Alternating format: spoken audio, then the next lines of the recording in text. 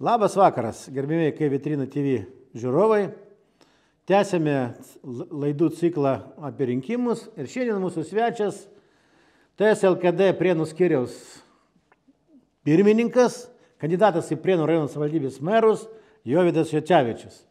Jaunas, bet jis to pasakys turbūt man, kad aš neteisus, kad jis jauniausias visoje Lietuvoje. Nu tai mes jau šitą girdėjom, jis kur tai sakė. Arba man prieš e, filmavimą sakė, nu, neprisimenu. Nutekino informaciją. Nutekino informaciją, kas tai. Nu, tai sveikinam, kad jūs jau, jau įsirašėte istoriją, jau VRK bus parašyta. Jauniausias, gerai. Ir, dar iš prienų, girdi, gerai. Ir LRT bus, ir Delfi. LRT, ir Delfi. Nu, nu, geriausiai krašto vitrina. Taip. Mes nereklamuojam svetimų portalų. tai, tai noriu pasakyti, bet girdi, pokalbis bus pas mus taip, kaip ir pokalbis, interviu pokalbis. Tai noriu prieš tai, kaip užduoti tos klausimus, kurie skaitysim aptarti, nu, neaptarti, atėmus duotos jums visiems kandidatams į merus. Vis dėlto, kodėl žmogus, kaip tu, žmonės turi balsuoti būtent už tave? Mhm. Pats jauniausias, patirties jokios neturi, jau daug už tave balsuoti. Nu, negaliu sakyti, kad patirties visai neturiu. E, šita politikos rytis, nors gal dar galima sakyti, kad ganėtinai mažai, nu, nedaug, bet patirties vis tiek jau tą pamatymą, kaip kas būna, turiu. Nes, kaip ir minėjau, Elonas Maskas, jisai, kai vyksta darbo pokalbis, nesiteirauja apie asmens kompetencijas, jis klausia, kokį iššūkį turėjai ir kaip tu su juo sugebėjai susitvarkyti. Tai A tavo koks iššūkis? Mano iššūkis, mano paskutiniai keli metai, galėčiau sakyti, vien iššūkiai Ir e, nes nekartą buvau įmestas į vandenyną ir taip mokinausi plaukti. Šiuo atveju man 24 metai, aš kandidatuoju į prienų merus, tai supranta toks dalykas. taip, net, sakyčiau, kaip, ganėtinai. Kaip manai, būsi koks? Penktas, šeštas, ketvirtas, trečias? Uh, nu, pagal balsų surinktų. Kiek, nu, įdomu. Tai po, po antro turo būsiu antras. Aha, po antro turo būsiu. Nu, gerą. Nebent, nu, nebent nu, pasiseks, būsiu pirmas. Nu, nu, supratau. Man sunku pasakyti. Žmonės mhm. e, viską spręs, aš minčių neskaitau. Tai kalbant trumpai apie tos visus iššūkius, kaip ir klausėt, kas pas tave per iššūkį, tai gal sakyčiau, viskas pas mane prasidėjo nuo būtent studijų pasirinkimo, nei iš jo, nei iš to. Realiai toptelio mintis ir taip sugalvojau paskutinę minutę, mhm. kad studijuosiu Anglijoje. Įstojau į tarptautinius santykius, nesuprasdamas, žinokit, neturėjau nei žalio supratimo, kas yra tarptautiniai santykiai. Tai patekau į universitetą, kitoje šalyje, ne, prieš tai nieko bendra ne, su manim neturėjusi dalyką. Na ir ką, dirbau, mokiausi, 8 ryto į biblioteką, 9 vakaro iš bibliotekos Tai reikėjo daug tokio prisitaikymo, daug, daug, daug atsidavimo atsakomybės, nes visas mokslas ėjo savarankiškai. Aš pabaigsiu, pamatysit linko, vedu viską. Paskui, sakyčiau, kitas mano iššūkis buvo darbas Seime. Mhm. Kai darbą aš gavau visai netikėtai ir nesuplanuotai, nes per Seimo rinkimus, rinkimų kampanijos metu vieną vakarą grįžau namo ir pamačiau, kad kažkas prie mano tvaros priejo. Lankstinukus mėtė. Nu, tai galvau, pakalbinsiu, aš kaip politikos mokslus baigęs, kaip nepasikalbėsiu su agitatoriais. Tai šaukiu per kiemą, sakau, už ką agituojat. Sako, pats kandidatas atėjo, sakau, tai kuo vardu, nu, susitikau taip su Seimo nariu Andrium Kučinsku. Pasikalbėjom truputį, pasiūliau gal padėti kažką su rinkimais, nu, nes man aplamai šitas rytis buvo įdomi, kažkaip norėjau ir tos patirties įgauti, kurios dabar jau galėčiau sakyti, kad turiu per akis. E, kai teko visą prisižiūrėti dabar rinkimų kampaniją. Tai va, nu ir pasikalbėjau su juo, paskui jam išėjus į Seimą, pasiūlė prisijungti prie komandos ir pradėjau dirbti Seimo nario patarėjui. Ir tas toks kaip atstovaujamosios demokratijos darbas, matot, sulaukiam gyventojų kreipimus. Tų kreipimusių sulaukiam iš įvairių sričių. Ten vienam problemos su žeme, kitam problemos su elektra, trečiam su šiluma, ketvirtam dar ten kokias. Aš jums pasakysiu, aš baigęs tarptautinius santykius pasikartosiu, aš nei elektrikos inžinierius, nei ten žemių specialistas, tų visų dalykų realiai dar kartą buvau įmestas į vandenyną ir tiesiog turėjau mokintis plaukti.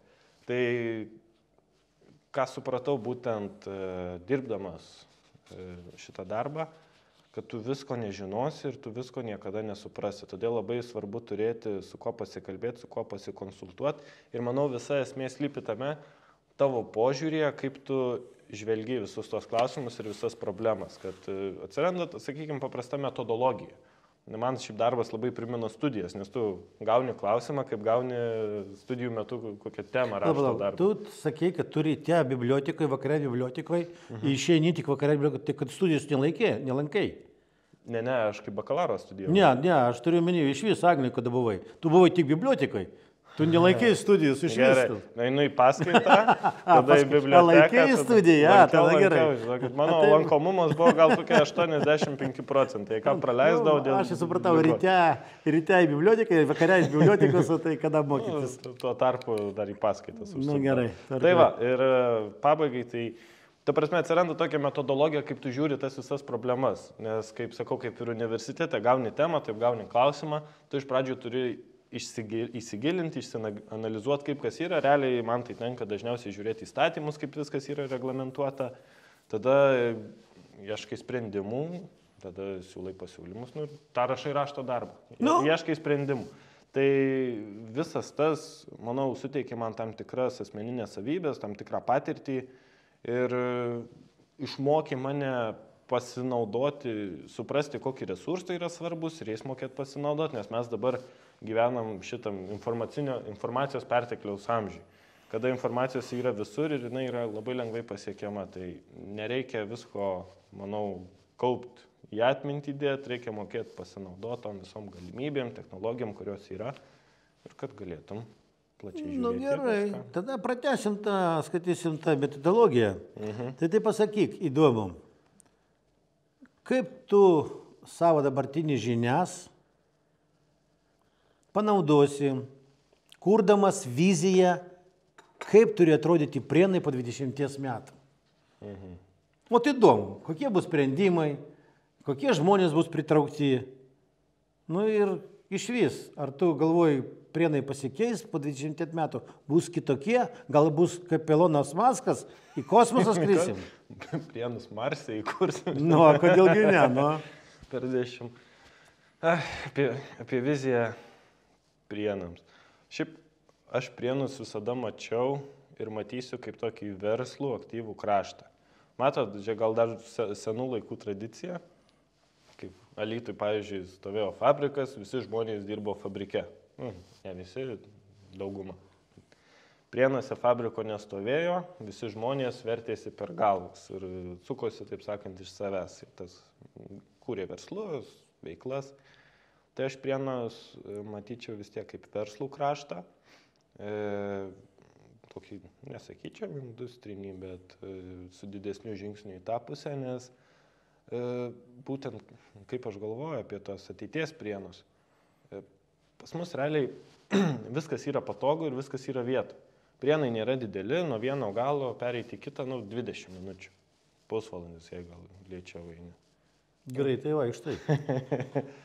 Tai ir kadangi dar esam rajono centras, turim visas institucijas, kurios yra prieinamos žmonėms. E, be to, mūsų ir geografinė vieta yra labai patogi. Netoli Kaunas, Alytus, Marijampolė, iki Vilnius tik valanda.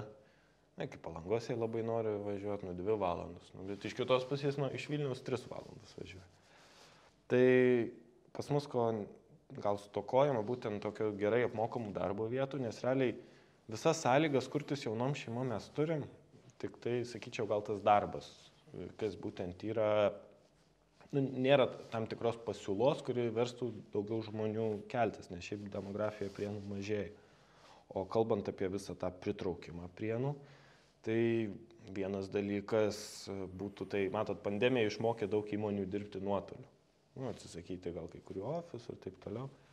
Ir manau, būtų visai racionalus sprendimas, jei žinoma būtų pas, pa, pa, pa, padaryti analizę, ar verta toks dalykas, įkurti tas vadinamasias coworkingo vietos. Nu, realiai.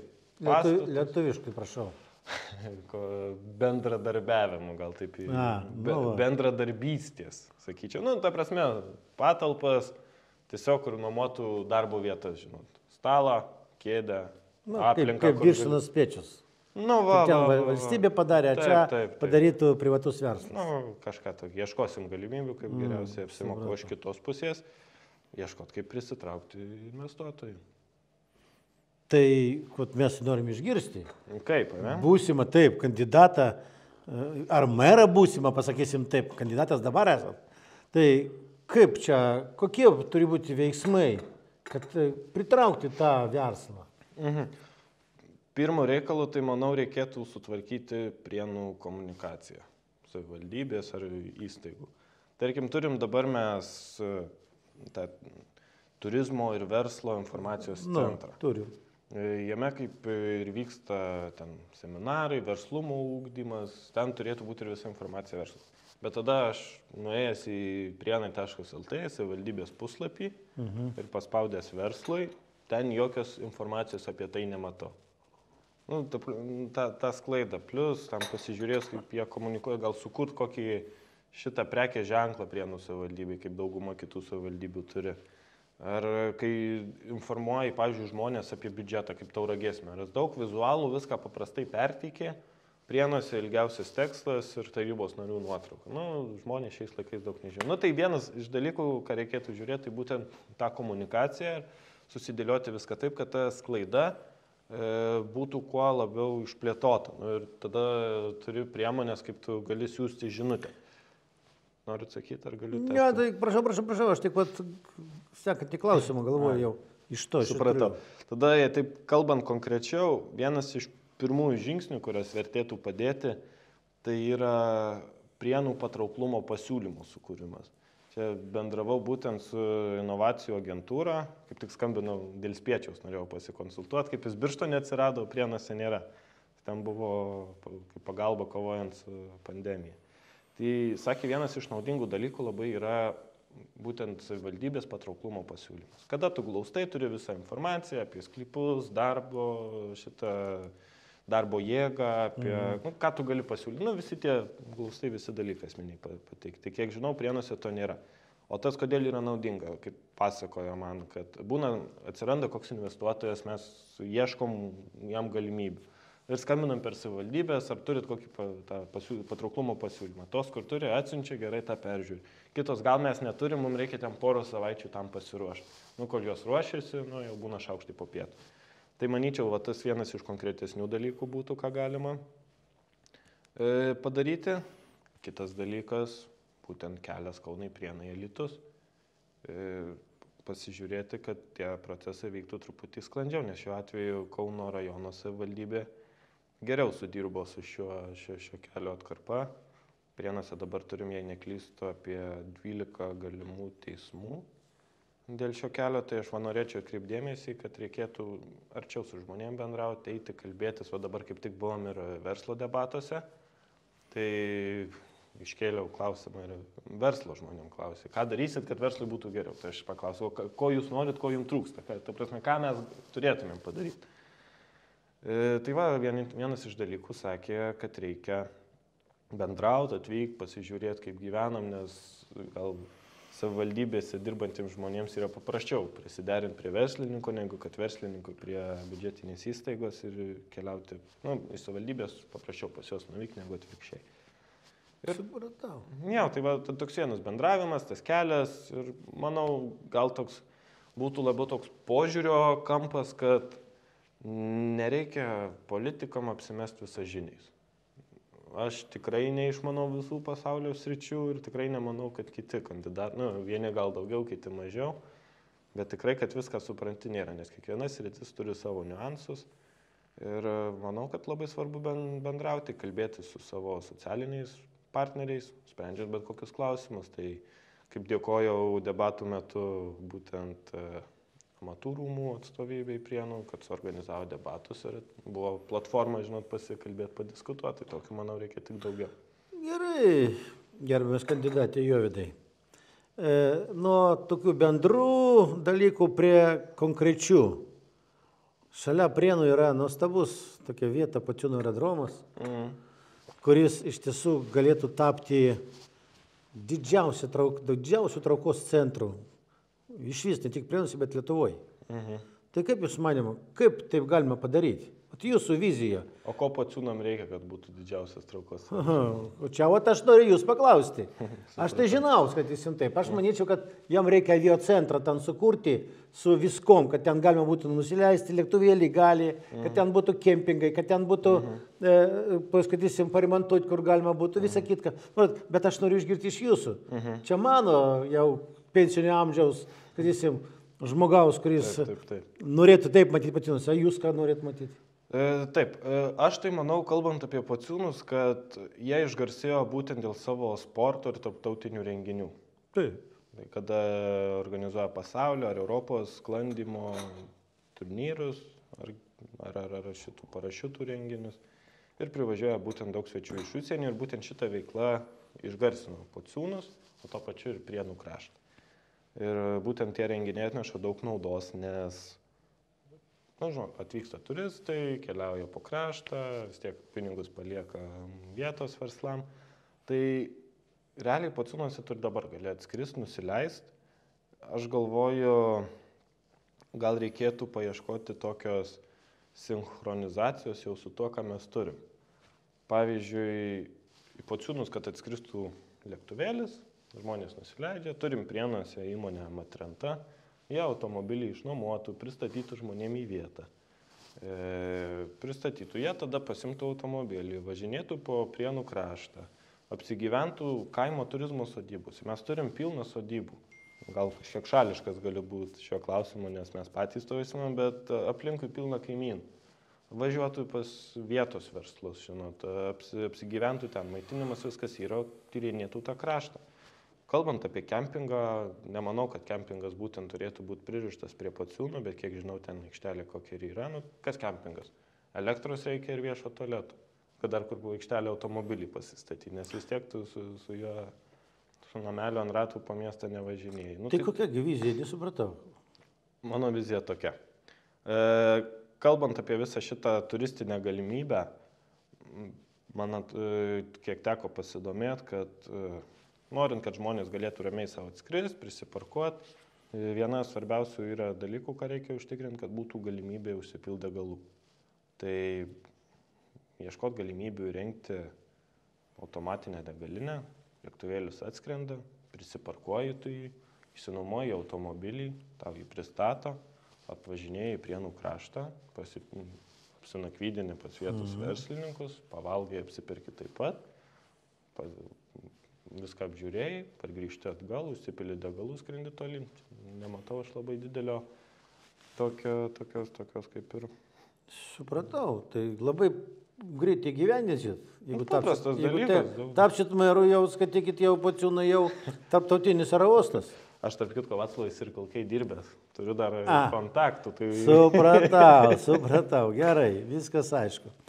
Gerai, apie Versą mes šiek tiek kaip pritraukti į, regio, į rajoną mūsų mes kalbėjomės, tai mes negryšim prie šitą, šitą temą kaip ir suvalgėm kartu su pirmu. Mhm. Ir dabar vat, mane domina toks dalykas, todėl kad sako taip, be žmogaus, be gero švietimo, be gero, kit, mok, gero, geros, gero, gero, gero mokyklų tinklo, mhm. neišugdysi to žmogaus ir, nu, kaip pasakyti, nu, nebus ateities. Mhm. Tai tu pasakyk man, kaip tu manai, ar mūsų švietimas aukštumoje lygoje ir ar mokyklų tinklas atitinka mūsų lūkesčius ir ateities, kad jis prienų savivaldybės lūkesčius. Prienų savivaldybės lūkesčius. E, Kalbant apie šitą švietimo sritį, tai aš pirmiausia, žinoma, norėčiau pasidžiaugti Prienų savivaldybės specialistų darbu, nes ir būtent ta iniciatyva, kuri atėjo iš konservatorių tūkstančio, mokyklos, jie parašė planą, projektą ir jis buvo įvertintas g- tikrai aukštų balu ir pateko į pil, pirmą etapą finansavimo, kad Nu, pinigai ateina iš Europos. Mes žinom šitą žinią. Žinom, Nu, tai va, bet žinokit, net noriu pasidžiaugti, kad ir socialdemokratai programą įsirašė, kad mokyklose įsteigs ir laboratorijas, kas man atrodo, negaliu 100 procentų, 95 procentais garantuoju iš e, tūkstantmečio, mokyklos, tūkstantmečio mokyklų programos finansavimo. O šiaip kalbant apie mokyklas, didelių problemų nematau, bet čia norėčiau pasinaudoti platformą vienai žinutiai. Na, na. E, netikėtai mus pasiekė gandas būtent dėl Pakonio mokyklos, kur e, mero žmona dirba direktorė, būktai dešinieji puola ir nori mokyklą uždaryti. Tai aš tik norėčiau dabar visiems žiūrintiem pasakyti, mokyklos nieks nepuola, nieks jos uždaryti nenori. Ten istorija paprasta. Vienas iš mūsų tarybos narių per tarybos posėdžius pastebėjo, kad uh, greit išaugo Pakonio mokyklos mokinių skaičius. Nu, jam kilo įtarimas. Jis pasikreipė į mokyklą, paprašė informacijos apie mo mokinius, tos informacijos jam nedavė e, dėl duomenų apsaugos, tada pasi, parašė į ministeriją, tiesiog norėjo įsitikinti, na, parašė ministeriją, kad nu, patikrinkit, paprašė, nu, tyrimą atlikti. Tai ministerija patikrino, pažiūrėjo, kad viskas gerai, ten rado įrodymų, kad mokiniai mokinosi.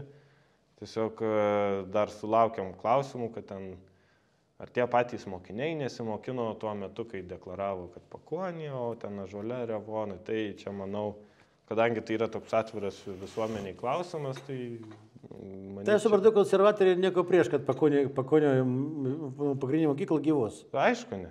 Ja. Šitą aš manau, gal aplamai dėl viso šito dalyko, gal reikėtų tokio įstaigų vadovų ar direktorių iniciatyvas, nu nežinau, arba spaudos konferencijas, surinkti ar pranešimą spaudą išleisti ir paaiškinti, kaip kas yra kas, nes tikrai mokyklos niekas nesiuošia uždaryti ir mes tikrai jau nepuolam mokyklų, jau Koko. Gerai, tada supratau, dėl pagonio pagrindinės mokyklos supratau, Galima kad tas. niekas neuždarys, niekas nepadarys, bet aš noriu paklausti, ar jūs, skaitysim, e, jūs kaip kandidatą, Jurgis, tenkina dabartinį mūsų švietimo, švietimo, skaitysim, tinklo ir mokyklų tinklo, skaitysim,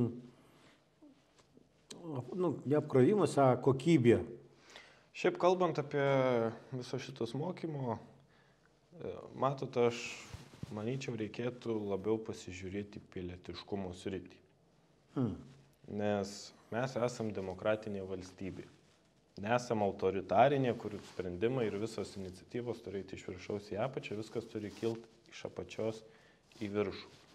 Ir e, teko žiburį man vesti pilietiškumo pamokas, kaip nuo, nuo jaunųjų konservatorių lygos mes turim tokią iniciatyvą. Tai būtent mokiniam ir vedžiau tas pilietiškumo pamokas. Tai atėjau į klasę ir sakau, ar galit kas paaiškinti, ką reiškia būti pilietišku, ar kas yra pilietiškumas. Niekas rankos nepakėlė. Kelintokams vedėt? Antrokam, trečiokam. Aha. Mm. Tai niekas nepakėlė rankos. Ir Tiesiog manau, reikėtų, ai, aš tam pamokų metu apie Seimą papasakau, nes kaip tik jam artėjo tas e, egzaminas Seimo, tai mm. puikia proga, paskui ten dar protmušį tokį, nu, kaip čia, mo, mokoma jį tiesiog, kad ne, nepilkai jam pilti visą masę informacijos, truputį interaktyviau.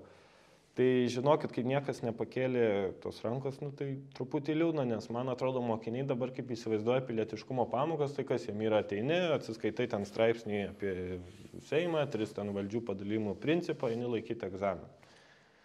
Tai man atrodo, reikėtų susižvelgti tai ir tiesiog skatinti mokinius aiškinti, kas yra pilietiškumas, nes tai, aš kaip bandžiau jam pasakyti, kad tai yra savotiškas nebejingumas. Kai tu matai, kad kažkokios problemos ar koks tavo klausimas, nu tarkim dėl kokio kelio, pas mane labai dobėtas kelias, aš nežinau, ką dėl jo daryti, tai aš sėdžiu, nu, viskas bus gerai. Nu, pilietiškas žmogus eitų, ieškotų, kur kreiptis, kas gali spręs, rašytų laiškus ar ten skambintų savo atstovus. Jau, tai aš suprantu, bet nu, tai va. pilietiškumo praktiškai čia yra švietimo ministerijos daržas. Ką savivaldybė gali, skaitysim, iš savo pusės padaryti? Nu, mato, čia yra daržas, gal tada reikėtų žiūrėti į mokytojus, gal jie kažkaip galėtų e, kitų kampų visą tą pristatyti. Nu, supratau. Šitą temą pakankamai dar tokia, kaip sakytinai, neaiški. Mm. Nu, matos. Išskyrus to, kad reikia pilietiškumą pagerinti, visą kitą. Nu, matot, pas mus kaip yra. Aš kaip ir minėjau, nesu aš visų sričių ekspertas, mes turim komandą pas mus sąraše yra būtent dvi asmenybės, kur puikiai išmato švietimo sritį, tai man kai reikia pasikonsultuoti, aš visada galiu pasiklausti ar į tą pačią ministeriją pasiskambinti. Žiūrėkit, kaip tai mes taip jau kalbam, kalbam, žiūrim, jau uh, mums praneša apie tai, kad jau tik penkias minutės liko iš pusvalandžio, nespėjo Kur prabėgti. Atrodo, kur jis dingo. tai dabar atėjo toks laikas, kad uh, skaitysim į tuos klausimus, kurios buvo tokie be- bendri klausimai, kurie buvo duoti visiems kandidatams, kaip ir jūs atsakėt. Gerai ar blogai čia spręs ne mano žiūrovams. Tai pasakykit, dabar jums laikas e, šiek tiek pagituoti už savo kompaniją ir už save. Ką pasakysit savivaldybės gyventojams? Kodėl jie turi ateiti ir braukti biuletenį su jūsų pavardė ir su konservatoriu? E, Žinot, aš kaip e, mūsų šūkis naujiems laikams, naujas meras, naujiems laikams nauja komanda, naujiems laikams naujas požiūris. Mes ateinam, sakyčiau, su tokiu paprastumu. Mes nenorim pompastikos, mums nereikia šau, ten karpyti juostelės ir panašiai. Mes ateinam su paprastu noru dirbti savo kraštui, nesiekiam būti ponais, pirmiausia, norim būti žmonėmis. Dirbti savo kraštui ir kad ta savigar, e, fu, tai yra savivalda būtų draugiška. Kad žmogus jaustųsi oriai ir kad jo problemas būtų įsigilinama. Tai manau, reikia tokią kryptį užduoti. O kaip mėgstu aš juokauti, žinot, būna dviejų krypčių, e, dviejų tipų žmonės. E, Kai klausosi muzikos, vieni, kur tiesiog viską iš eilės, ką groja kompaktas, kiti, kur mėgsta vieną dainą ir ją pastoviai leidžia, leidžia, leidžia, leidžia. Aš asmeniškai esu to antro tipo žmogaus. Kaip tik vieną dainą. Pa, dažnai būna pagal nuotaiką, bet jeigu man jau va viena daina patinka, tai aš va jos ir klausau pastoviai. Tai prienai jau tos pačios dainos klauso e, trečiai de- dešimt metų, ten su tarpais dar daugiau. Apie kokią šį dainą kalbame? Kalbu apie tai, kad... e, A, kad va, valdžioje, tai, nu, valdžia, supratau, taip. supratau. Tai man atrodo 15 metų, vis tiek kas 15 metų, tu gal perjungi jau tą kitą dainą. Tai aš manau, kad va, mes gyvenam naujais laikais, ateina jauni žmonės, mes ateinam į valdžią, mes kitaip matom viską, mes turim inovatyvių idėjų, galim pažiūrėti, taip kaip sako, už dėžės, nu, iš kito kampo. Ir ateinam su naujom idėjom, kitom naujom vertybėm. Kodėlgi ne? Hmm. Gerai, tai dar, dar yra keletą minučių. Tai Pasinaudosit progą. Panaudoti progą užduoti dar vieną klausimą. Mhm. E, a bendrai, kaip jums pačiam gyvenasi Prienuose? Gerai, man patinka. Aš visada grįžtu į Prienus. Ta prasme, studijų metais. Ne, studijų metų mes pamiršim. Dabar, vat, jūs gyvenat Prienuose ar ne Prienuose? Prienuose. Rimtai. Taip, Ir kurgi? Maironio gatvėje. A, o. Maironio gatvėje, toj gatvėje, kur tik gyveno Kur kuni- netoli jūsų. kunigaikščiai. Kunigaikščiai. A, Taip, taip, supratom. Šitą, sakau, aš ir studijų metais ir dabar visada grįžtu į Prienus. Atostogų, tada, kai išeidavau, tai pirmas dalykas, tarp kitko, ką darydavau sugrįžęs, sėsdavau į automobilį, pasileisdavau lietuviškos muzikos ir važiuodavau tokį didelį ratą per Prienų visą O rajoną. čia, kuris triukšmavo Mikprienų mieste.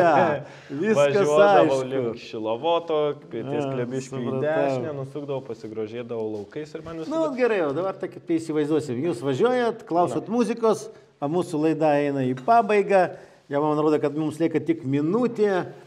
Ir aš noriu, kaip ir visada, po kiekvienos laidos pabaigoje padėkoti Royal Spa rezidencijai už arbatą ir už nu, vietą suteiktą dėkoju mums filmuotis.